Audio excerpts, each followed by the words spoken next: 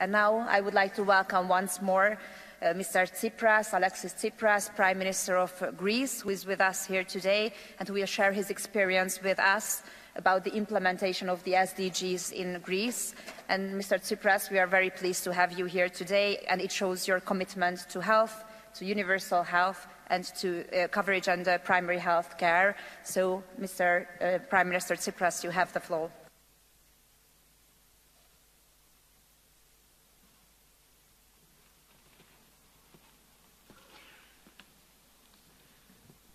Excellencies, ladies and gentlemen, Honorable Director General of uh, the World Health Organization, I would like to warmly thank you, all of you, for your invitation to speak today at uh, the annual European General Assembly of the World Health Organization.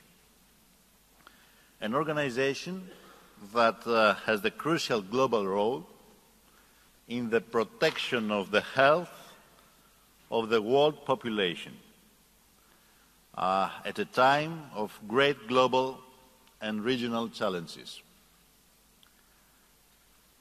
It's uh, an honor but also a great responsibility to represent Greece here today. A country of the European Union that found itself at the epicenter of two of the most important challenges of our time, the economic crisis and the refugee and uh, migrant crisis. Two crises that uh, the international community was not ready for.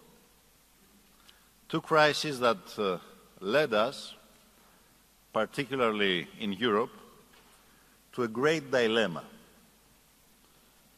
Do we confront the challenges of our time through solidarity, respect of human dignity, and international law? Or do we decide that the best choice is to protect only our own nation and leave all the other choices to the markets? My country chose the first path, which is also the only path that allows Europe to have a common future.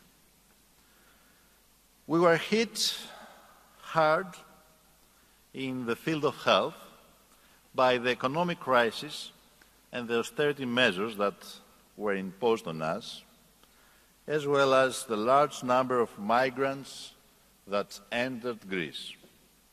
But we decided that the only way to protect and support society was to strengthen universal health care and at the same time to try our best so that uh, all vulnerable groups, including immigrants, had access to it. Greece is a country that is going to great lengths in order to heal the wounds of its citizens from the harsh austerity measures of these last eight years. Measures that have undoubtedly affected the level of health and health care of the citizens of Greece. Today, I feel I'm speaking here on behalf of all citizens of the European Union who support its founding principles. European citizens who believe that investing in health means protecting human dignity and social equality and cohesion against those who want to weaken the social welfare acquis and who believe that health care should be a privilege for only those who can afford it.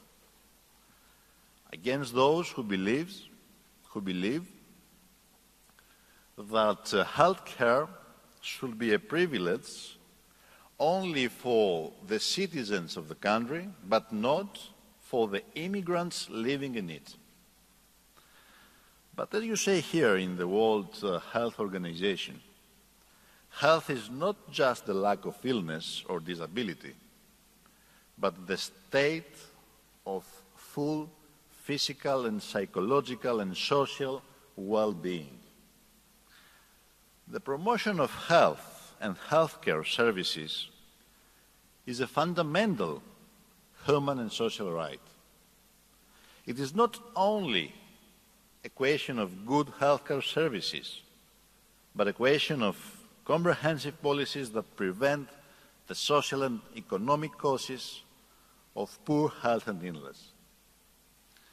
Causes like poverty and social exclusion, lack of decent living conditions, or poor diet. And this is why what we need is health policy whose priority is supporting weak and vulnerable groups aiming at decreasing inequalities. Let us not forget that inequalities contravene the fundamental principles of the World Health Organization and the Alma Ata Declaration of uh, Health Care for All. In Greece, having experienced in a traumatic way the consequences of austerity policies in the field of public uh, health care and the, wel and the welfare state, we have been promoting an alternative political program in the last two years, based on the following. Universal coverage of the population, bias in favor of the public health care system, improvement of management in the healthcare system, eradicating the passive privatization of the healthcare system and uh, burden on citizens through out-of-pocket payments, reforming primary health care, giving more emphasis to the rights of patients. This is our, our response to the crisis in the healthcare system, to inequalities in access and to the negative trends in the healthcare of the population, particularly in a period of high risk and uh, multiple challenges to health. Despite the asymmetry between uh, pressing needs and uh, available resources, and uh, despite budgetary restrictions, we have made important steps in this direction by redistributing public expenses and combining uh, resources for, from the state budget and social insurance, we have succeeded in the following. First, we have ensured the universal, free and equal access of uh, uninsured citizens to the public health care system. In this way, we have finally closed the period of healthcare, healthcare poverty in our country, fulfilling the goal of the World uh, Health Organization and the EU that uh, no one should be left behind. Second, we supported and stabilized the public healthcare system. We increased the percentage of public expenses to GDP from 4.7% in 2015 and 5.1% uh, in 2016-17. We filled many empty doctor and nurse positions in hospitals. We improved the function and uh, the effectiveness of public institutions. We improved transparency as well as public accountability in management we invested in the development of human resources. We protected, protected the scientific and uh, professional integrity of uh, young doctors and we're trying to reverse the brain drain. Third, we confronted the problems of corruption and uh, wastefulness in the health system. Fourth, we ensured reliable health care to thousands of refugees and immigrants, including through the vaccination of children, through ensuring that the refugee crisis would not lead to a problem of public health, and through strengthening the culture of solidarity in the Greek society. Fifth, we promoted reforms in the healthcare system that were pending for decades. The most important were the reform of primary health care that is now being organized on the basis of decentralized structures and uh, the strengthening of the institution of the family doctor. And here I would like to underline that uh, the technical support and contribution of the European branch of the World Health Organization in reforming primary health care was extremely valuable. Sixth, we facilitated the access of patients to the necessary innovative medicine, confronting a problem that has existed for many years in Greece in evaluating pharmaceutical innovation and negotiating affordable prices for expensive medicine where necessary. Of course, of course, there are very important steps to be taken in order to correct the mistakes of the past and to build a modern healthcare system in Greece.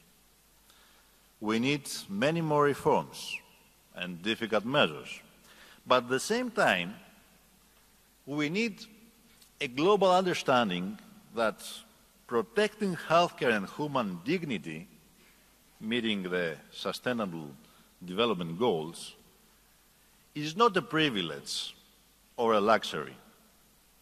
And this is something that all international institutions have to understand. It is one of the most important tools we have in order to confront the challenges of our age. And I know very well that uh, the World Health Organization is an ally and will be an ally in this effort. And that's why I warmly thank you for the work we are doing in this direction and for your support to my country and uh, to my government's efforts. Thank you very much.